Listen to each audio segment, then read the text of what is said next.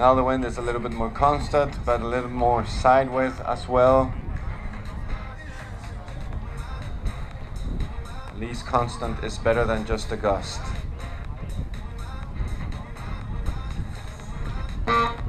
Okay, the time is starting.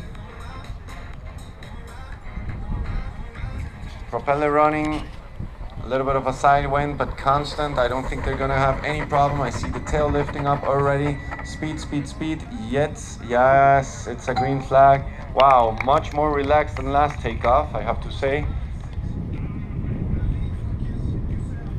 Pilot gaining a lot of terrain before he enters the, the tracks.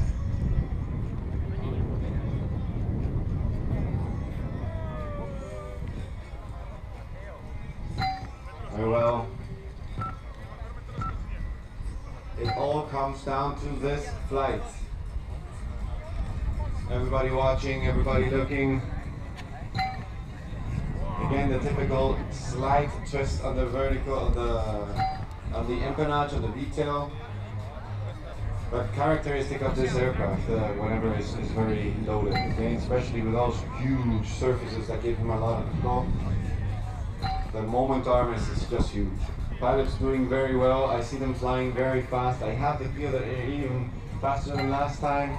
The, this pilot is really nailing down those curves and really uh, keeping the circuit um, as tight as he possibly can. I see them also trying to, you know, keep in the ground, not gain much altitude, but just keep keep the speed up.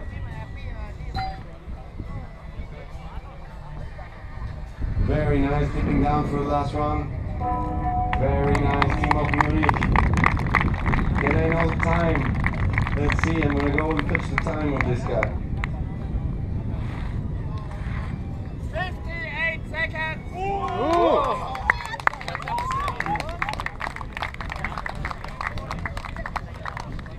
What's the verdict? What's the verdict? 58 seconds. Under a minute. Team of Munich, you are fast. This will put the Italians in the game again.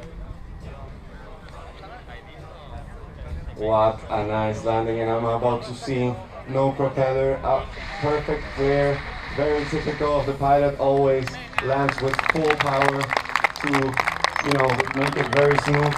Team of Munich, what a great performance! It was really a privilege seeing you today.